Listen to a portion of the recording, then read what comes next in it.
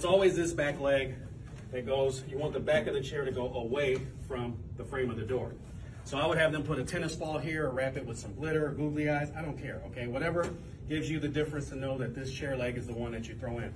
So this could be your timeout chair or you can set a potted plant, whatever you want to do for that chair, but it's already ready.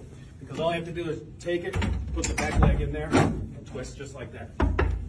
And this thing is solid. It's not going anywhere. And that took me, what, two seconds? That, that's not even locking the door. So like I say, once again, here, here, twist, and that's it.